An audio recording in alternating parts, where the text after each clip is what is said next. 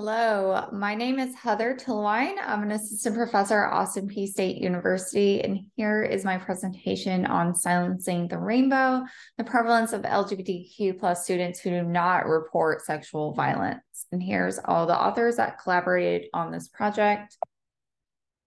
So, a little bit of background about this topic on sexual violence amongst the LGBTQ community. Um, it does not get a lot of attention compared to our cis heterosexual students um, in the United States. Our current data shows that as high as 90% of students are victims of sexual assault do not report it. Um, and we know there's various reasons of why that occurs.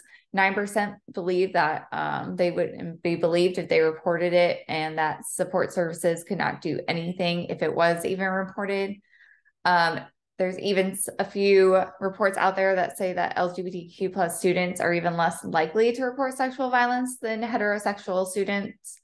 Um, and then there's even more due to the fear of a perpetrator. So we still have these power differences and these heteronormative norms of masculinity that can influence whether a individual that is on the LGBTQ plus continuum um, wants to report or not.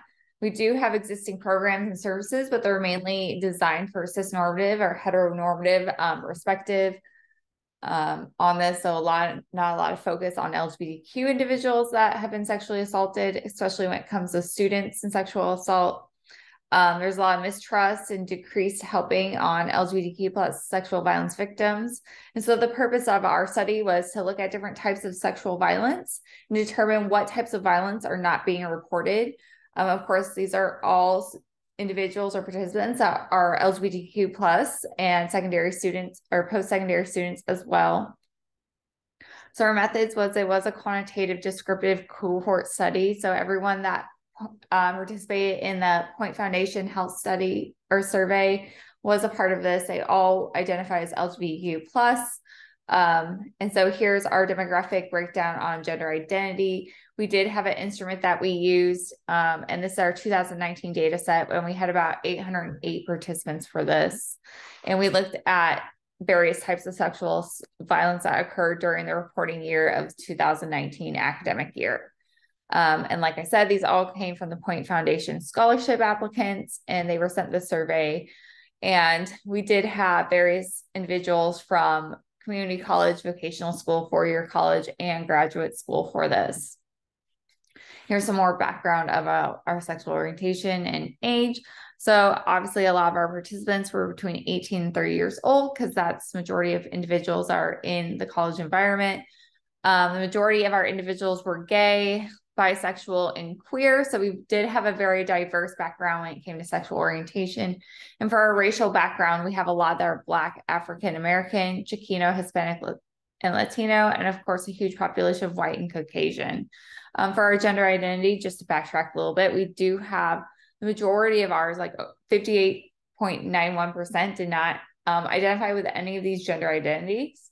Um, and then our second prevalent would be our other. So we have do not um, adhere to these terms and also they identify as other. We have gender queer, which we had a ton of, and gender non-conforming. Transgender men, we had 74. So we did have a big, diverse population when it came to gender identity and sexual orientation. So for our analysis, these were the questions that we looked at um, when we analyzed the data. So obviously the questions that they were asked is if anyone made sexual remarks or told jokes or offensive stories to them, made inappropriate or offensive comments about them or their body, someone else's body, or any sexual activities, um, said crude or gross sexual things to you or try to get you to talk about sexual matters, um, email, texted, tweeted, phone, instant message offenses, sexual marks, jokes, stories, continue to ask you to go out to dinner when you explicitly said no, or they asked you continuously to have drinks, or have sex, and you kept saying no. Um, if you were just sexually assaulted, so this included unwanted touching, forced or pressured into having sex. Um, and then their options for why they didn't report was embarrassed or ashamed, did not think anyone would take action, thought they would get in trouble, did not want to get the other person in trouble. So all this data was collected from the Access to Higher Education Survey Instrument. Um, we measured it before COVID, So that was kind of important because COVID really sparked in 2020 and everyone moved online. So we took the data set before that. Um, we used the Pearson's chi-square to determine whether it was statistically significant differences between those who experienced different categories of sexual violence and those who did not actually report the violence. And so here are our results. So there was a significant relationship um, when we did our correlation that showed those who had these crude, gross sexual things or um, or to them in sexual matters, and those who did not report the type of violence. So it was statistically significant. And so with the breakdown of that, those who were um, 70 cent, 92.2% of them that had experienced this type of violence did not report it. So out of that whole population of those that reported it, 77 of them, which was 92.2%, did not report that type of sexual violence. When it came to email, tweeted, phones, um, instant message on offensive sexual remarks, jokes, stories, pictures, and videos um, that they didn't want, it was statistically significant. About 87.2% of the people that had that experience happen to them did not report it at all. And then to continue on, those that made sexual remarks, jokes, or stories that were insulting or offensive was statistically significant. Um, and out of those, 90.5% people that experienced it did not report the assault. When it came to those that were continuing to ask drinks, dinner, have sex with, even though they said no and it was continued, um, that was statistically significant. And out of those 91.4%, of those individuals that experienced it did not report this type of sexual violence.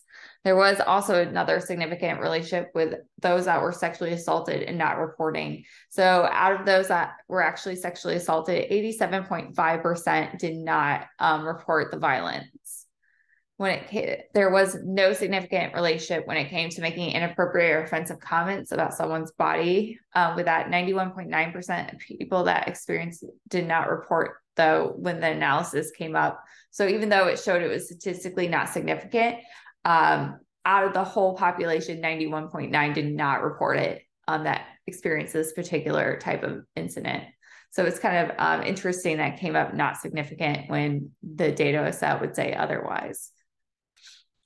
So for our results of why they didn't report it, so now we know statistically they are not reporting it. So now here is like the why they don't report it. So anyone that had any type of sexual remarks or jokes to it, the majority of them didn't report it because they didn't think any action would be taken. So I have 96 participants that experienced this. 75% said that they wouldn't report it because they didn't think action was going to be taken for that. When it came to offensive comments on the bodies, um, the reason it was not reported was they did not think any action would taken place. And that was 69% of individuals said that was the reason for not reporting. So when people said crude or gross things, um, again, did not think any action would be taken. That was 67.60% of those individuals didn't think that any action would be taken. Um, when it came to email or text, we had 73.52% of those individuals that experienced that that didn't think um, any action would be taken and then continue to sexual talk sexual things. 62.5% um, did not think any action would be taken when it came to that particular sexual violence. When it came to sexually assaulted, um, it was a tie between embarrassed and did not think the action would be taken. Over 50% in each category thought that um, they didn't report it because of those reasons. So when it comes, we know that our LGBTQIA plus individuals are facing higher rates of sexual violence compared to the sexual and gender majority peers that they have. Um, we have a high prevalence of students that are not reporting this, even regardless to the severity of the action. Um, and that was one of the limitations of our study is if you're having these comments made to you or something, you may not, um, most likely probably won't, won't report comments to authorities. But if it came to actual physical harm, you're probably maybe more likely to report those. Um, the site showed that their overall reason for people not participating or reporting these is that they didn't believe any action would be taken during uh, against their perpetrator. And survivors of sexual violence also reported that embarrassment was definitely another reason for them. And that could be due to social norms of masculinity and homonormativity in their environment. Um, and that obviously can lead to feelings of being rejected, bullied, teased, or harassed. Um, so this stu- study also shows that the fear of being embarrassed and no action being taken against their aggressor has been um, in previous studies with victims and underreported because of embarrassment, fear of retaliation, and not believing, um, being believed due to your sexual or gender identity. So, for our conclusion with this is that research shows that again, there's high prevalence regardless of the type, um, individuals do not report due to embarrassment or believing that no action is actually going to be taken place. Our survivors of sexual violence have all these negative health impacts due to this form of violence, such as depression, anxiety, negative mental health. Um, as our academic institutions and as health professionals, we should focus on making these efforts on these school environments to be safe and inclusive for our LGBTQ plus students and tailor our resources to their needs as well.